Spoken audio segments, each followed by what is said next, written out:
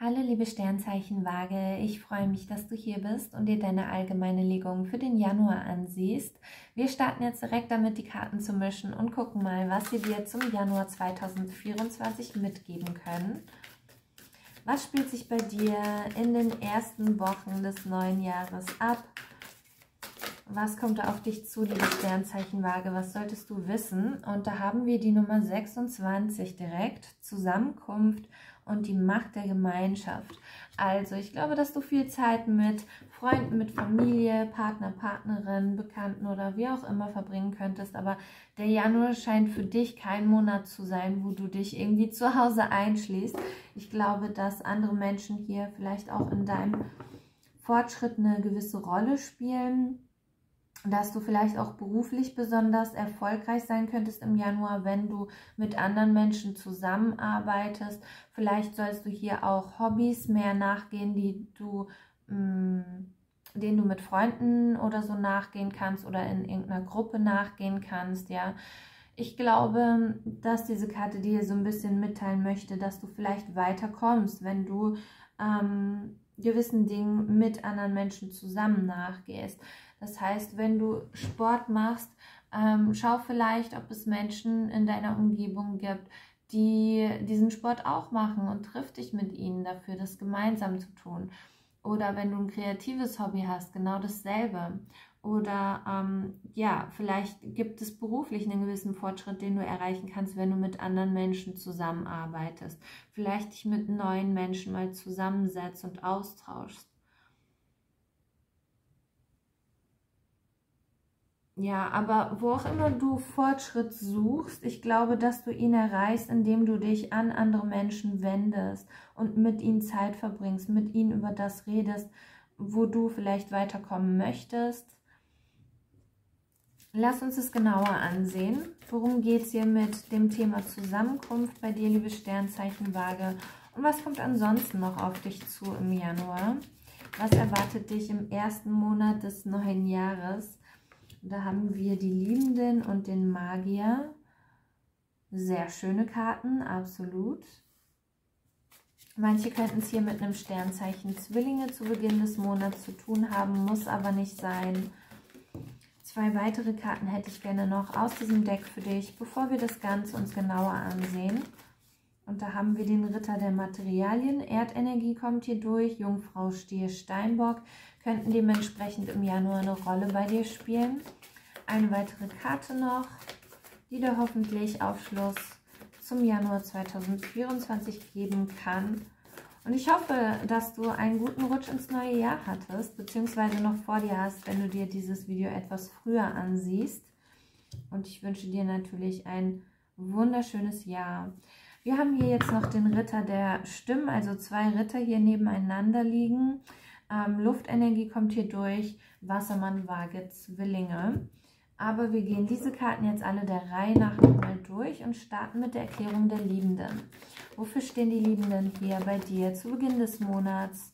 Liebe Sternzeichen Waage, was könnte hier mit den Liebenden Anfang Januar auf dich zukommen? Was erwartet dich hier. Da haben wir die Königin der Münzen, Erdenergie, wie hier auch mit dem Ritter der Materialien schon angesprochen. Jungfrau Stier Steinbock. Also Luft und Erde kommt hier jetzt schon recht stark durch, obwohl wir erst so wenig Karten liegen haben. Lass uns schauen, worum es hier genau für dich geht. In der ersten Januarwoche ungefähr. Ich sehe, dass du dich in deinen Beziehungen sehr, sehr sicher, sehr, sehr wohl fühlst, okay? ähm, wenn du in einer Partnerschaft bist oder wenn du dabei bist, jemanden im romantischen Sinne kennenzulernen, dann habe ich das Gefühl, dass du dich sicher fühlst und dass du gar nicht viel ja, hinterfragen musst oder dir Sorgen machen musst, was vielleicht in der Vergangenheit mal der Fall war bei dir, dass du dir irgendwie nie sicher sein konntest, woran du bei jemandem bist hier sehe ich, dass äh, das nicht der Fall ist. Entweder weil dir dein Gegenüber einfach ein besseres Gefühl gibt, klarere Signale sendet, als es vielleicht jemand aus der Vergangenheit getan hat, oder aber weil du selber in dir so sicher bist, dich so geerdet fühlst, dich wohl mit dir selber fühlst, dass es im Prinzip egal ist, wie andere Menschen sich dir gegenüber verhalten. Okay, aber ich sehe hier für manche absolut, dass es neues Potenzial hier geben könnte in der Liebe. Vielleicht lernst du auch Anfang Januar hier jemanden kennen, wenn du sagst, da gibt es momentan noch niemanden. Aber ich sehe hier schon eine flirty Energie so ein bisschen. Vielleicht die ein oder andere schöne Nachricht, die du hier erhalten könntest Anfang Januar. Ähm, für manche sehe ich hier auch, dass ihre Beziehung zu den eigenen Kindern sehr stark sein könnte Anfang Januar.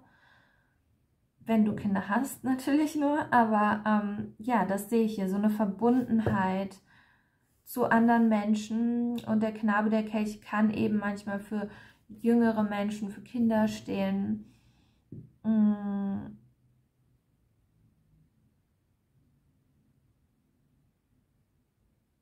manche könnten es hier in der Liebe mit jemandem zu tun haben, der ein bisschen jünger ist, aber gleichzeitig emotional sehr, sehr offen ist, was eine schöne Abwechslung sein könnte. Also ich habe wirklich das Gefühl, dass manches in der Vergangenheit mit Menschen zu tun gehabt haben könnten, die recht verschlossen waren in der Liebe. Wo du dir vieles selber zusammenreimen musstest quasi. Weil diese Person einfach nicht viel mit dir geteilt hat. Und jetzt sehe ich, dass das einfach anders ist. Dass du einen Partner, eine Partnerin hast oder einen potenziellen Partner kennenlernst, der viel, viel offener ist, viel mehr mit dir darüber redet, was diese Person hier sieht und wie es sich anfühlt und dadurch erhältst du einfach eine gewisse Sicherheit. Wenn du sagst, ich bin an der Liebe überhaupt nicht interessiert, ähm, dann können das hier auch andere Beziehungen sein, die Anfang Januar einfach sehr, sehr gut bei dir aussehen. Wie gesagt, ähm, vielleicht zu deinen Kindern, welche, wenn du welche hast, vielleicht zu ähm, Menschen aus deinem Freundeskreis, aus der Familie oder so. Aber ich sehe da eine starke Verbundenheit, eine große Harmonie, die vielleicht eben auch nicht immer da war.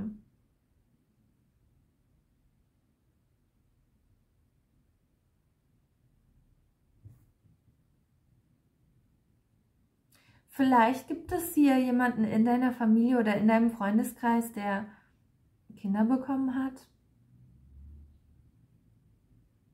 Oder einfach irgendwie ja, kleine Kinder hat und du verbringst Zeit mit denen. Sehe ich hier so ein bisschen, dass manche sich mit Kindern umgeben Anfang Januar. Und wenn es eben nicht deine eigenen sind, könnten es hier die von jemand anderem in deinem Umfeld sein. Ähm, aber nimm nur das für dich mit, was mit dir resoniert, okay? Nicht jede dieser Nachrichten, die ich hier anspreche, wird zu 100% mit jedem Einzelnen resonieren. Das ist nicht möglich. Deshalb schau, was sich für dich richtig anfühlt, was mit dir in Resonanz geht und hör auf deine eigene Intuition. Die wird dir sagen, welche dieser Nachrichten hier für dich passen könnten und welche eben nicht. Aber ich sehe hier sehr viel Harmonie, sehr viel Stabilität. Es kann auch sein, dass du einem Familienmitglied oder jemandem einfach näher kommst, wo die Verbindung bisher nicht so mega stark war. Das heißt nicht, dass sie schlecht war vorher, aber ich sehe, dass ihr euch hier vielleicht so ein bisschen mehr austauschen könntet, als es bisher der Fall war. Aber das sieht sehr, sehr gut, sehr harmonisch aus.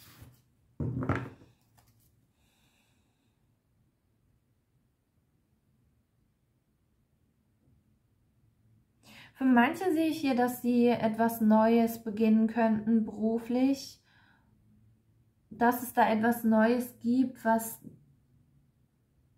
eine Menge Leidenschaft und Neugierde in dir hervorbringt. Vielleicht ist es für manche auch ein neues Hobby, dem sie nachgehen oder so. Aber ich sehe da einfach noch so eine frische Neugierde.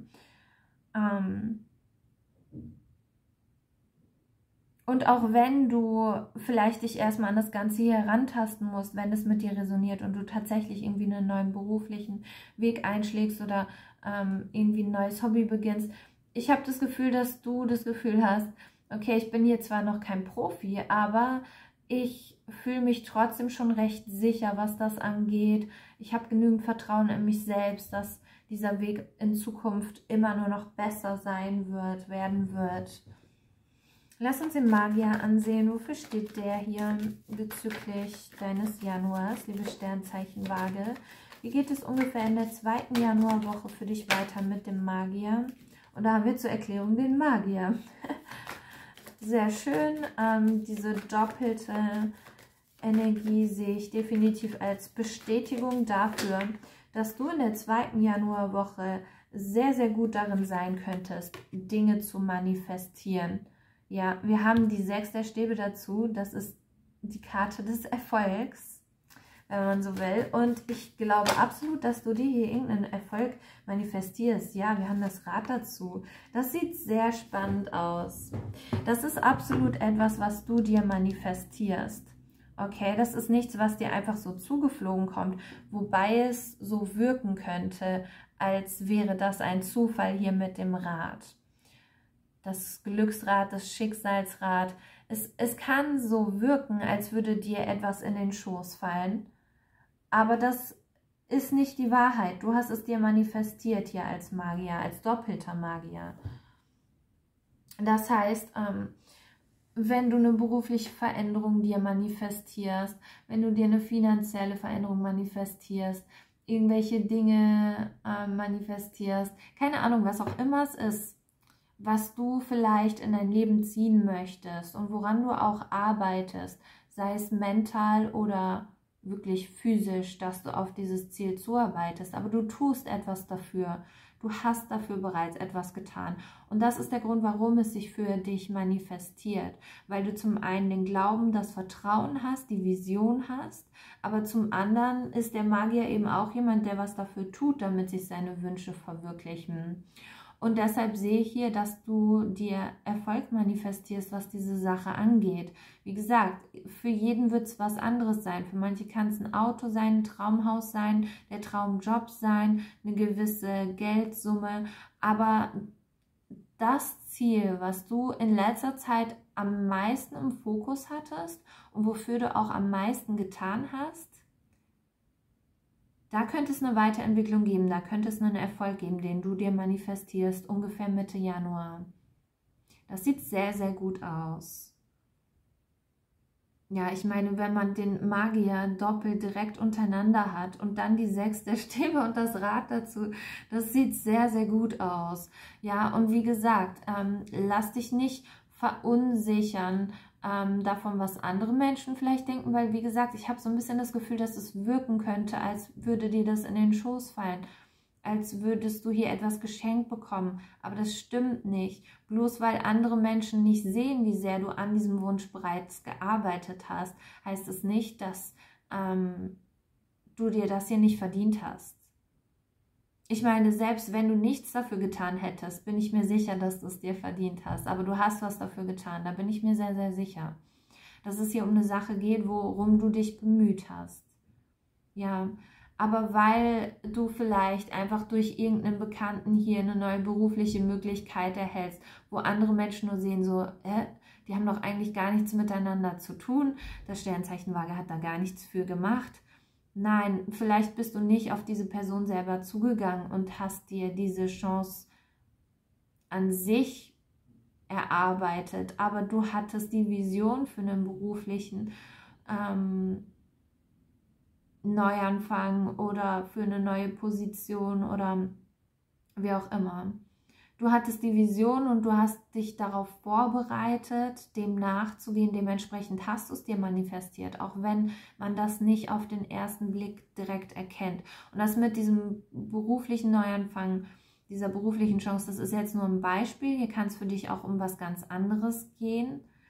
Aber wenn du das erhältst, was du dir wünschst, dann lass nicht zu, dass es da irgendein schlechtes Gewissen gibt, sondern nimm es an von ganzem Herzen Du hast es dir wirklich erarbeitet, du hast es dir wirklich verdient. Und wenn du auch, sag ich mal, nur daran gearbeitet hast, indem du dir visualisiert hast, wie es sein könnte, wenn du diesen Wunsch erfüllt bekommst. Oder wenn du auch nur mit ein paar Affirmationen gearbeitet hast. Aber das ist doch etwas.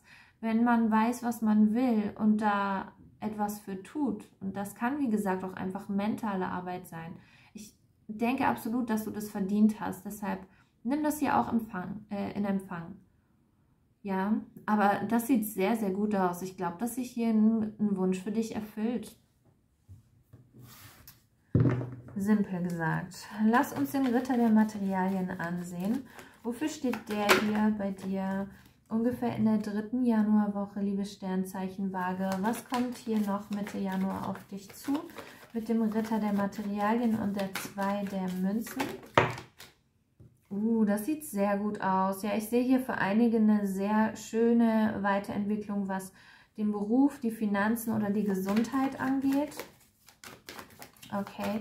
Ja, ich, der Ritter der Materialien ist absolut jemand, der was dafür tut, um seine Ziele zu erreichen. Und ich denke, im Januar wirst du merken, dass du hier einem großen Erfolg einfach näher kommst. Okay, ich sehe finanziell sieht es sehr gut für dich aus. Ich glaube, da brauchst du dir keine Sorgen machen. Und wenn es ein Erdsternzeichen gibt, dem du irgendwo sehr nahe stehst im Januar, also ein Sternzeichen Jungfrau, Stier oder Steinbock, dann sehe ich, dass eure Verbindung sehr harmonisch, sehr ausgeglichen, sehr ähm, beidseitig ist. Wir haben hier die zwei der Kelche, also für manche könnte es sich hier um eine romantische Partnerschaft handeln, die einfach sehr stark auf Gegenseitigkeit beruht, auf Vertrauen beruht. Hier, ich sehe eine tolle Basis für euch beiden. Und es könnte für manche eine Beziehung sein, die sich mit der Zeit immer mehr und mehr aufgebaut hat, aber sehr, sehr stabil ist. Ich sehe hier, dass du es mit jemandem zu tun haben könntest, dem du absolut vertrauen kannst der es wirklich ernst meint mit dir. Für manche kann es hier auch eine berufliche Partnerschaft sein, eine berufliche Kooperation, ähm, die sehr gut aussieht. Deshalb, wenn du im Januar die Möglichkeit hast, dir mit jemandem zu kooperieren, dann lass dich gerne darauf ein, weil das sieht sehr, sehr gut aus. Es sieht emotional erfüllend aus. Es sieht danach aus, als würden hier beide Seiten ähm, gleichermaßen Arbeit in diese Verbindung, in diese Partnerschaft reinstecken. Ähm, es sieht danach aus, als könntest du diesem Kooperationspartner vertrauen. Ja, und vielleicht ist das ja auch einfach mit diesem, ähm, mit dieser Zusammenkunft gemeint, dass es hier eine Partnerschaft gibt, auf die du dich einlassen sollst. Sei es eben in romantischer Hinsicht oder sei es in beruflicher Hinsicht. Aber ich sehe, dass es hier jemanden gibt, dem du vertrauen kannst und auf den du dich mehr einlassen sollst, weil aus dieser Kooperation, dieser Partnerschaft mehr entstehen kann. Ich sehe, dass hier gerade erst die Basis aufbaut und ich glaube, in Zukunft kann da noch mehr draus entstehen. Ja, aber ich sehe, dass du es hier mit guten Menschen zu tun hast im Januar. Menschen, denen du vertrauen kannst, Menschen, die irgendwo von sich aus auch Interesse an dieser gemeinsamen Verbindung zeigen. Das gefällt mir sehr, sehr gut. Ja, und wie gesagt, wenn du offen für ein Kennenlernen bist, wenn du Single bist, ich denke, dass es da jemanden geben könnte, dem du Schritt für Schritt näher kommst. Ja, wenn du das möchtest, wenn du bereit dafür bist. Ich kann mir vorstellen, dass du dir Zeit lässt oder dass sich diese Person Zeit lässt. Aber ich glaube, das ist auch vielleicht genau das, was hier jemand braucht, um sich einfach wohl in dieser Verbindung zu fühlen. Sich sicher zu fühlen, wie gesagt, hier auch schon am Anfang. Ich sehe, dass du dich sicher fühlst, aber vielleicht brauchst du es dafür auch, dass ähm, ihr Dinge einfach langsamer angeht wenn du jemanden in der Liebe neu kennenlernst. Aber wow, das sind alles sehr, sehr tolle Karten, muss ich wirklich sagen. Hier scheint es eine tolle Partnerschaft zu geben, durch die du eine Menge erreichen kannst, sei es eben, was deine persönlichen Ziele angeht oder deine beruflichen Ziele angeht. Ähm, und hier diese Manifestation, die sich für dich verwirklicht. Richtig, richtig gut. Also dein Jahr scheint wirklich toll zu beginnen. Lass uns den Ritter der Stimmen ansehen. Wofür steht der hier noch bei dir zum Ende des Monats? Ähm, was spielt sich hier ungefähr in der letzten Januarwoche bei dir ab, liebe Sternzeichenwaage? Ähm, natürlich könnte es hier mit dieser Luftenergie auch um deine Energie gehen Du bist ja ein Luftsternzeichen, aber manche könnten es hier auch mit einem weiteren Luftsternzeichen zu tun haben. Wir haben hier den Ritter der Schwerter nochmal. Ist genau dieselbe Karte wie der Ritter der Stimmen. Heißt bloß anders, weil sie aus einem anderen Deck kommt. Aber auch hier dieselbe Karte zweimal in einer Spalte. Genauso wie hier mit dem doppelten Magier. Das ist echt eine gute Legung hier weil mir die Karten auch bestätigen, da ist was dran an dem, was du erzählst, weil dieselben Karten eben doppelt in derselben Spalte auftauchen. Wie dem auch sei. In der letzten Spalte sehe ich außerdem für manche äh, Sternzeichen Schütze, was Ende Januar eine Rolle spielen könnte, aber nicht muss. Ich sehe hier einen sehr, einen sehr gesunden Austausch, sehr gesunde Kommunikation zwischen dir und jemandem oder vielleicht zwischen dir und sogar mehreren Menschen in deinem Umfeld. Weil hier der Zeitpunkt für diese Kommunikation gekommen ist und auch dafür irgendetwas anzugehen.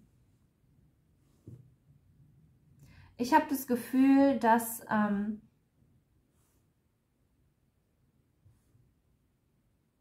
du vielleicht schon Pläne geschmiedet hast oder Anfang Mitte Januar hier Pläne schmiedest, ähm, für die Zukunft und Ende Januar ist es an der Zeit, darüber mit jemandem zu reden, wie man das umsetzen kann.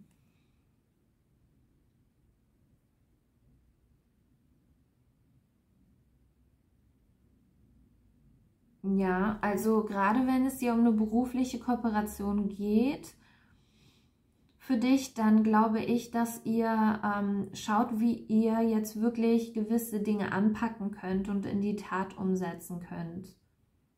Aber das kann genauso für privatere Beziehungen gelten. Aber ich sehe auf jeden Fall einen zielführenden Austausch, wo es darum geht, wer kann sich wie jetzt hier ähm, beteiligen, damit das in eine gute Richtung geht ich sehe so ein bisschen das Thema Arbeitsaufteilung, ähm, aber auf eine sehr gesunde Art und Weise. Ich glaube, dass hier alles, ich sag mal, fair aufgeteilt wird, dass niemand irgendwie ähm, zu viel hat, worum er sich kümmern muss, sondern ich glaube, das ist recht ausgeglichen hier.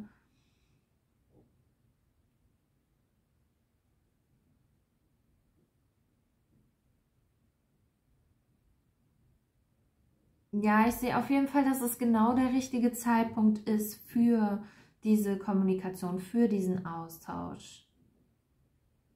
Wenn du irgendwie ähm, Anfang, Mitte Januar noch auf eine klare Nachricht oder sowas von jemandem wartest, könntest du sie Ende Januar erhalten.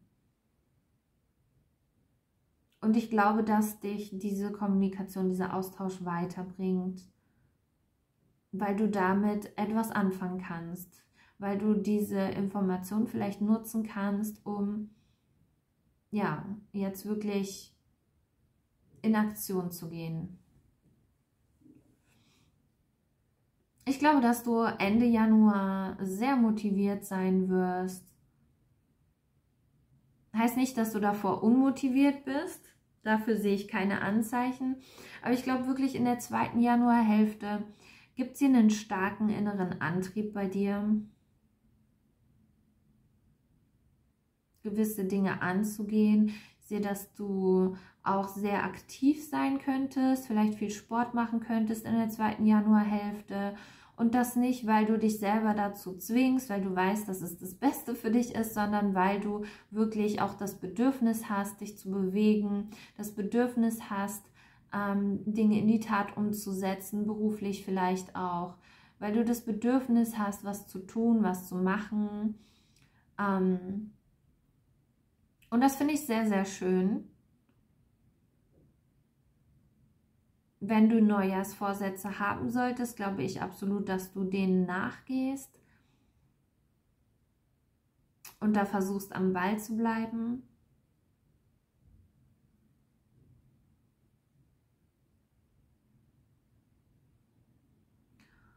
Und ja, das finde ich sehr, sehr schön. Ich meine, der Januar kann für manche auch wirklich ein dunkler Monat sein, ein kalter Monat sein, wo man vielleicht ähm, nicht so viel Antrieb hat, wie man es eigentlich gerne hätte.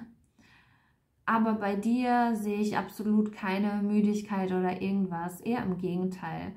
Ich glaube, dass du vielleicht im Vergleich zu ähm, dem, dem Dezember, November, Oktober ähm, relativ viel Energie haben könntest.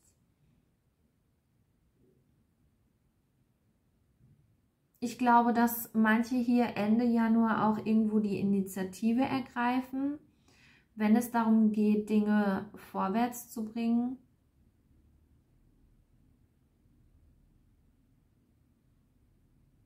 Selbst wenn du vielleicht sonst nicht so die Person bist, die, ich sag mal, als erstes den Kontakt zu jemandem sucht.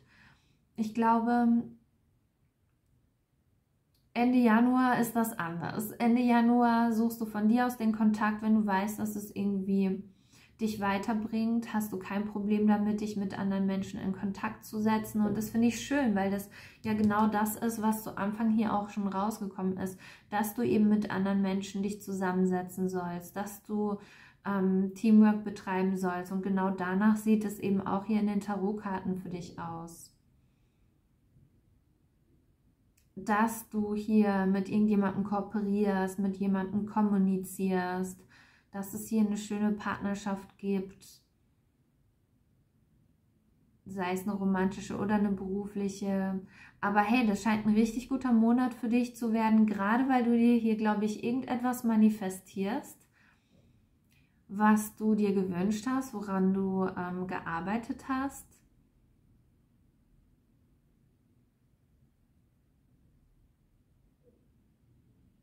Sehr, sehr schön. Wir legen jetzt noch eine Starseed-Karte für dich dazu. Lass uns schauen, was können dir die Starseed-Karten noch mitgeben. Liebe Sternzeichen Waage, was solltest du noch wissen? Und wenn du Interesse an einer persönlichen Legung hast, dann kannst du die ganz einfach über den Link unten in der Infobox buchen.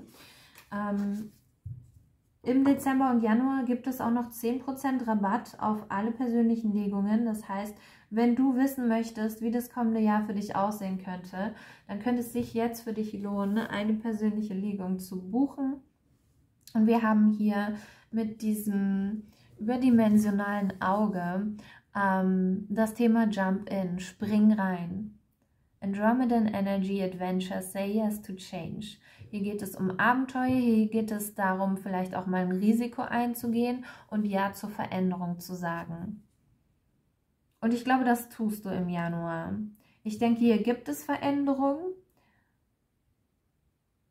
Gerade wenn es um gewisse Partnerschaften oder Kooperationen geht.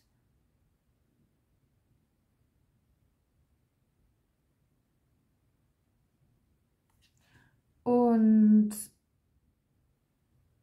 ich glaube aber, dass du dafür absolut bereit bist, dass du dich super wohl mit dieser Veränderung auch fühlst. Ich glaube, dass du an einem Punkt bist im Januar, wo du dich wesentlich besser mit Veränderung fühlst, als wenn alles gleich bleiben würde. Du willst diese Veränderung auch. Du springst da kopfüber rein. Was ich sehr schön finde. Du hast keine Ängste, keine Zweifel weil du hier auch merkst, dass einiges in eine sehr, sehr positive Richtung geht. Ja, und was ich nochmal anmerken möchte, diese Kooperation, das muss keine Kooperation zwischen dir und einer Person nur sein. Es kann für manche auch eine Kooperation mit einem Unternehmen sein. Hier kann es auch um Zusammenarbeiten gehen, die nichts mit deinem Beruf zu tun haben. Ähm, oder eben mit einer romantischen Partnerschaft. Vielleicht ähm, findest du eine Einigung mit einem potenziellen Mieter oder Vermieter oder was auch immer es für dich ist. Schau einfach, wie es mit dir resoniert. Aber alles in allem würde ich sagen, du fühlst dich wohl in deinen Beziehungen, gerade Anfang Januar. Du manifestierst dir etwas, was so scheinen könnte, als wäre es ein Zufall, aber es ist kein Zufall, weil du daran gearbeitet hast. Und dann gibt es hier noch eine tolle Partnerschaft, romantisch oder beruflich oder wie auch immer es für dich resoniert, die sehr ähm, stabil wirkt und sich weiterentwickelt hat oder langsam weiterentwickelt.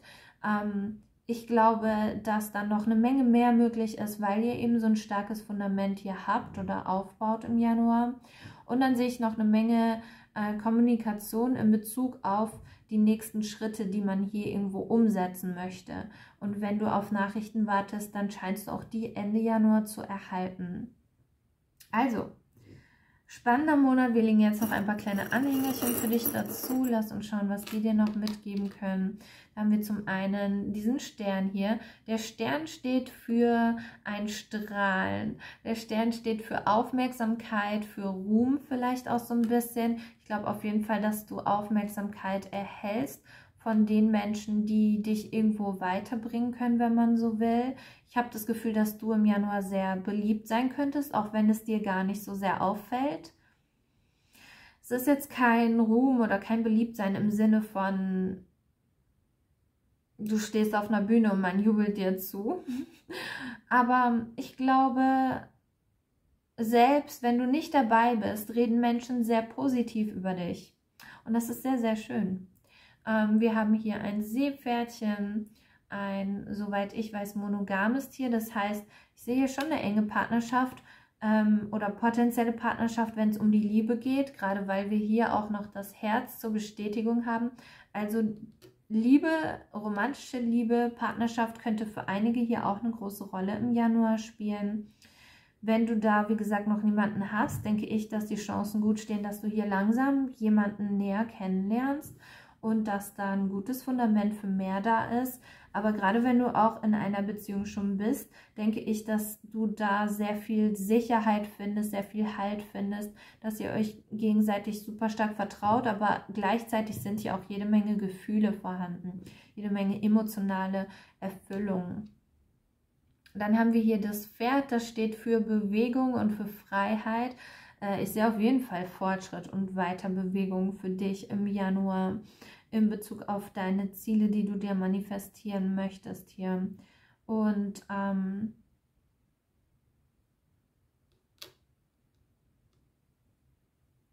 ich weiß nicht, hier kommt einfach so eine wilde Energie, äh, Energie gerade rüber. Ich habe das Gefühl, das ist deine Energie. Du bist auch wie so ein ungestümes Pferd, was halt sich dauernd irgendwie bewegen muss, habe ich das Gefühl. Was so ein bisschen auch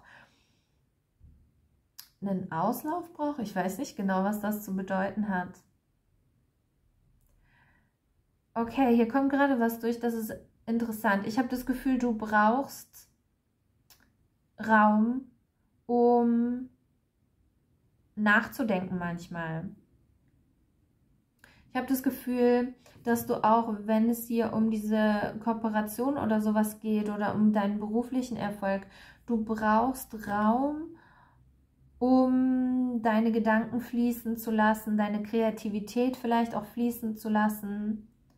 Und dann kommen die besten Ideen zu dir. Dann kommt auch die Erfüllung deiner Wünsche hier zu dir. Ich habe das Gefühl, du bist jemand, der es sehr gut versteht, Raum zu schaffen, damit sich das in dein Leben begeben kann, was du dir wünschst. Behalte dir das bei, behalte dir diese Freiheit bei weil die Sache ist die, wenn es um das Manifestieren von Wünschen, von Zielen geht, es ist wichtig, dass man eine klare Vision hat, dass man bereits fühlt, dass man das hat, was man sich wünscht. Aber dann eben auch, dass man dem ganzen Raum genug gibt, sich zu manifestieren. Dass man nicht zu sehr an diesem Wunsch klammert, weil dann kann dieser Wunsch niemals losgelassen werden und sich manifestieren und sich seinen Weg in dein Leben bahnen. Ich glaube, du bist jemand, der es sehr gut versteht, an diesem Wunsch irgendwo festzuhalten und daran zu glauben, aber gleichzeitig ihm den Freiraum zu geben, wirklich etwas in deinem Leben zu bewegen. Ja, das macht dich hier zum, zum doppelten Magier dass du das sehr, sehr gut kannst. Dieses Loslassen, aber gleichzeitig daran glauben, dass es sich für dich manifestiert. Das ist etwas, was für dich zur Wunscherfüllung führt. Interessant. Also, liebe Sternzeichen Waage, ich hoffe, dass dir diese Legung gefallen hat. Ich wünsche dir heute noch einen schönen Resttag und natürlich einen richtig tollen Januar. Ich würde mich freuen, wenn du diesem Video ein Like gibst, meinen Kanal abonnierst, falls du das noch nicht getan hast und wie gesagt mein Angebot unten mal abcheckst. Ansonsten ähm, ja, wünsche ich dir alles, alles Liebe.